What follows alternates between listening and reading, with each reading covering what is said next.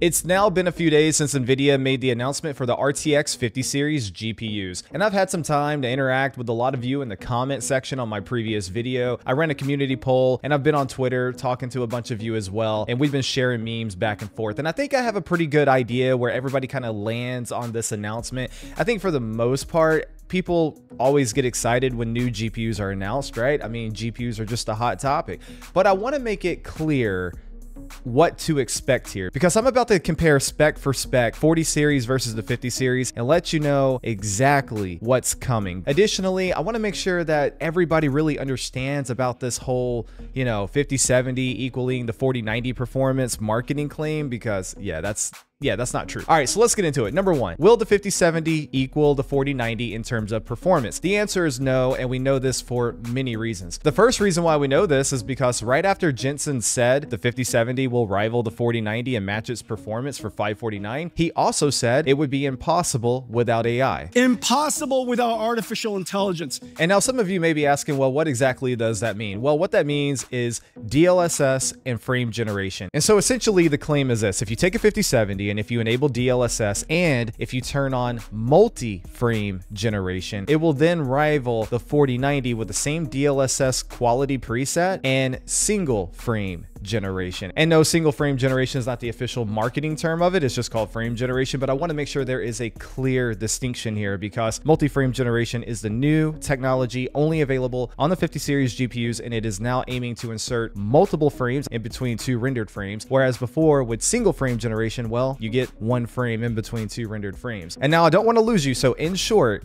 it's going to take the 5070 all this additional frame generation, all this additional AI upscaling just to match the 4090. And I want to make sure that's abundantly clear. In fact, I found this meme online. It's absolutely hysterical because it completely encapsulates exactly this issue. On the front, yeah, the 5070 will equal the 4090, but on the back, you have DLSS, multi-frame generation, Reflex 2, and of course, you're limited to 12 gigabytes of VRAM. And that's the other thing I want to point out here. If by some miracle, if by some miracle, the 5070 could match the 4090 in raw rasterization because of some, you know, architectural enhancement, it would just be limited by the 12 gigabytes of VRAM. The 4090 literally has double the amount of VRAM. There's no way the 5070 will actually equal the 4090 in terms of performance. And I just want to make sure that's abundantly clear. And now a lot of people say, well, NVIDIA's lying. Well, it really kind of comes down to their position and how they're viewing it. You see, I think in the mind of Jensen, he doesn't view this as a lie because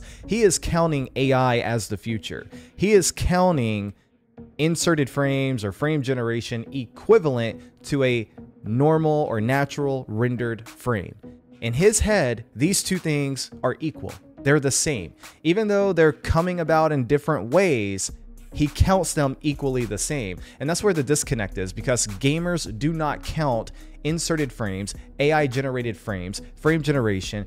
Gamers don't count this as the same thing as a normal rendered frame. And that is the disconnect between NVIDIA as a big corporation and you and me, the little guys in the gaming community. And finally, just to hammer that point home, here is the RTX 4090 right next to the RTX 5070. And you can see that the 5070 basically loses in every single category. Significantly less CUDA cores, less tensor cores, less ray tracing cores, slower clock speeds, even if it's only by a little bit, a worse memory interface bus width. Pretty much the only thing the 5070 has going for it is the fact that it is a significantly cheaper card and the TGP is lower, which means you can use a lower wattage power supply. That's about it. There is no way the 5070 will match the 4090 in performance. And I'm just trying to make sure I'm making this abundantly clear, and I think I have accomplished that. So we know the 5070 will not match the 4090. Now, with that out the way, let's move on and actually start comparing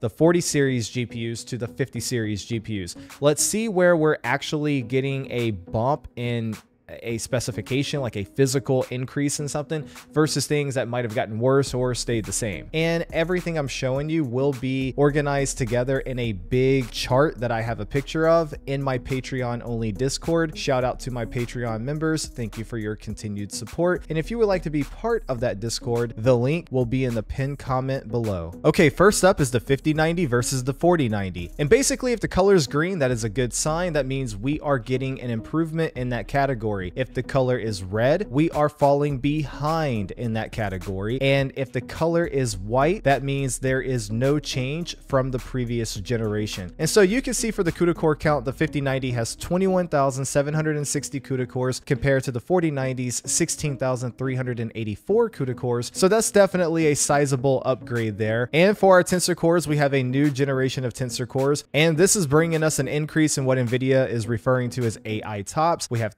3,352 compared to the 4090's 1,321. And next up for our ray tracing cores, once again, it is a new generation and we now have 318 teraflops versus the 4090's 191 teraflops. And our clock speed is a decrease in both our base clock and our boost clock. The 4090 is still clocking faster. And for our memory configuration, we now have 32 gigabytes compared to the 4090's 24 gigabytes, and it is now faster memory with GDDR7 versus the previous GDDR6X. And the memory interface bus width is also increasing to 512-bit versus the previous 384-bit. And where we lose is in the categories of power and money. The 5090's TGP is now 575 watts as compared to the 4090's 450 watts. You are now required to have a 1000 watt power supply as opposed to an 850 watt power supply. And the US MSRP at launch is $2,000 as opposed to $1,600. Next up is the 5080 versus the 4080. Once again, we do see an increase in our CUDA core count, 10,752 versus 9,728. And for the sake of time, I'm not going to read every single number going forward, but you can see all the information on the screen for you. And as you can see, we do have an increase in our tensor cores. We also have an increase in our ray tracing cores. And unlike the 5090, the 5080 actually sees an increase in both the base clock and the boost clock over the 4080. The memory configuration here is the same amount of memory coming in at 16 gigabytes. However, you still get that improvement in GDDR7 over GDDR6X. Now, there's no change to the memory interface bus width. The TGP is slightly worse, and this now requires you to have a little bit beefier of a power supply. And finally, we do have that $1,000 US MSRP for the 5080, whereas the 4080 launched at that awful $1,200 US MSRP. And now if we quickly factor in the 4080 Super, you can see not too much changes in terms of the benefits for the 5080, except for that US MSRP. So instead of there being a benefit and a price decrease, it is now the exact same price of $1,000 US MSRP. But pretty much everything else that was still a benefit over the 4080 is still a benefit over the 4080 Super, although not quite as much considering how the 4080 Super does have more tensor cores and ray tracing cores and CUDA cores than the 4080. So the improvement there is not quite as large, but there is still an improvement. And now let's take a look at the 5070 Ti. And this time I'm going to go ahead and show you both the 4070 Ti and the 4070 Ti Super. As you can see, there's not much of a difference between those two cards in compared to the benefits with the 5070 Ti. The 5070 Ti does have more CUDA cores, more ray tracing cores, and more tensor cores. However, unfortunately, once again, we do have a decrease in clock speeds for the new series of GPUs. So unfortunately, the 5070 Ti does have a lower clock speed than both the 4070 Ti and the 4070 Ti Super. However, switching over to the memory, this is where things get a little bit interesting, right? Because the 5070 Ti is definitely better in every way when compared to the 4070 Ti. You have faster VRAM and more VRAM. However, this time when compared to the 4070 Ti Super, the amount of VRAM is the same and the memory interface bus width is the same. However, the only difference is the 5070 Ti is using GDDR7, whereas the 4070 Ti Super is using GDDR6X. Now, the 5070 Ti does see a TGP increase, and once again, this does mean that the recommended power supply is now a little bit bigger. However, on the flip side, the launch US MSRP is $50 cheaper than both the 4070 Ti and the 4070 Ti Super, coming in at $750 as opposed to the original $800. Okay, now let's take a look at the 5070, and this is very weird because if you look at the CUDA core count and if you only compare it to the 4070, then we're getting a slight increase in CUDA cores. However, the moment you compare it to the 4070 Super, we actually lose in CUDA cores. Meanwhile, we still see an improvement in both tensor cores and ray tracing cores, and both our base and boost clock speeds are higher. And on the memory, unfortunately, there's not much of a extra benefit there. it, it is still 12 gigabytes of VRAM. However, we do still get the GDDR7 as opposed to the GDDR6X. And unfortunately, there's no improvement to the memory interface bus width. It is still the same 192 bit. And we also see an increase in the TGP for the 5070. But thankfully, the power supply requirement does not change. You can still use a 650 watt power supply. And also the US MSRP is $50 cheaper when compared to the original launch price of the 4070 and the launch price of the 4070 Super. And now finally, one more thing before we get out of here. I want to take a look at the performance charts published on NVIDIA's website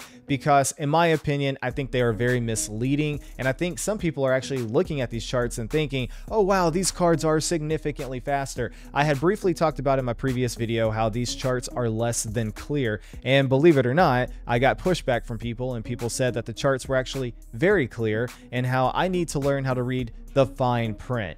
So let's take a look at the fine print. Okay, and looking at this chart and at first glance, it would seem the 5090 is significantly faster than the 4090. And in fact, if you look at any of the charts, the 5080, 5070 Ti, or the 5070, you see the same point conveyed over and over. The new generation is significantly faster than the old generation. However, there are many, many problems with all of these charts. If we look at the 5090 chart, and if we look at that fine print, you can see they are using DLSS performance mode. And so performance mode is the option with DLSS that will absolutely give you the highest frame rate possible, although you do have a noticeable hit to image quality. So that's already a little bit misleading right there. But in addition to that, in most of these cases, they're actually using frame generation. And you can see on the 40 series GPUs, they are using regular frame generation, which is just a single frame insertion. Whereas you can see on the 50 series GPUs, they are using multi-frame generation. So that is already not an apples to apples comparison, and that will absolutely not be fair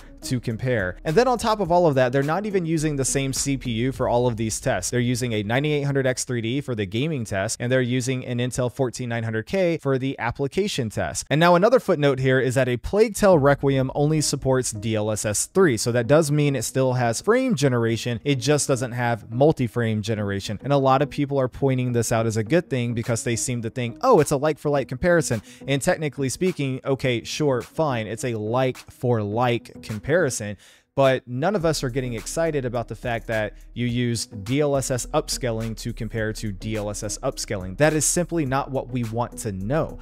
And so then people say, oh, well, if you want something without DLSS, look at Far Cry 6 because Far Cry 6 is only ray tracing. It does not support DLSS. And so this is a native 4K resolution with ray tracing enabled. And as you can see, the 5090 is faster than the 4090. And overall, I will say great. Okay, cool. That, that is is definitely a way better data point, but the issue here is the scaling of the chart. You have a 0, a 1x, and a 2x, and we don't know about any of the numbers in between. People on Reddit have taken it upon themselves to try and figure out the exact percentage, and most people are landing somewhere around 30%, give or take. And by the looks of it, that looks correct, but we're not going to know for sure until the official review day gets here. And finally, one other thing I want to point out is that if you look at the 5070 Ti and the 5070 benchmarks, you can see they're actually using DLSS quality instead of performance. And so unfortunately, that means the testing parameters are not the same for all of these GPUs. And so you are constantly having to look at the footnotes to figure out exactly what was done on that chart. There's no consistency here. All right, that's it for this video. Thank you so much for hanging out with me. And I hope you found value in today's video.